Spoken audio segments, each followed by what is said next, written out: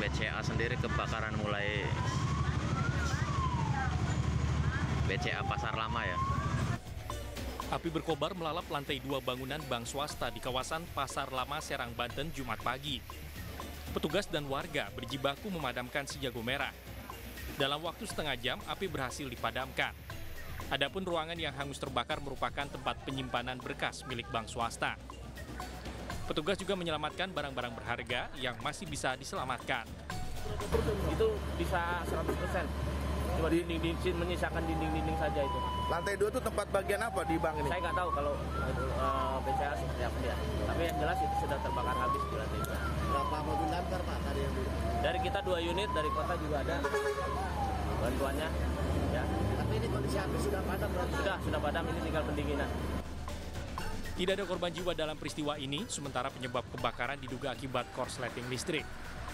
Dari Serang, Banten, Maisa Apriandi, iNews melaporkan.